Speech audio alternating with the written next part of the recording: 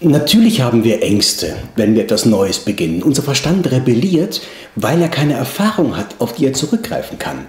Aber Ganz wesentlich ist für uns zu wissen, dass wir in unsere Aufgaben hineinwachsen werden. Wir müssen jetzt noch gar nicht so groß sein, wie unser Endziel gerade aussieht, sondern wir werden uns Schritt für Schritt entwickeln und Schritt für Schritt in unseren Erfolg hineinwachsen. Also ganz wesentlich ist, dass wir nicht gleich die ganz große Treppe sehen und die auf einmal nehmen wollen, sondern wir werden Stufe für Stufe nehmen. Das ist sehr wesentlich zu wissen, denn das nimmt uns einen großen Teil der Angst.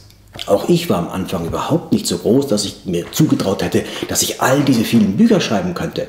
Ich habe einfach angefangen mit einem Satz, mit einem Kapitel und habe gemerkt, dass das etwas ist, was mich ausmacht. Und genauso solltest du vorgehen. Wenn Ängste hochkommen, ja, lass sie zu, unterdrück sie nicht. Aber ganz wesentlich, geh immer wieder in die Fokussierung deines Ziels. Stell dir vor, wie es sein wird, wenn du deine Sehnsucht verwirklichst.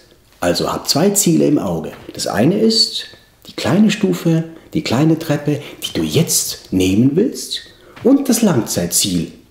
Und sei dir ganz sicher, du bist groß genug, um irgendwann einmal diese Größe zu erreichen.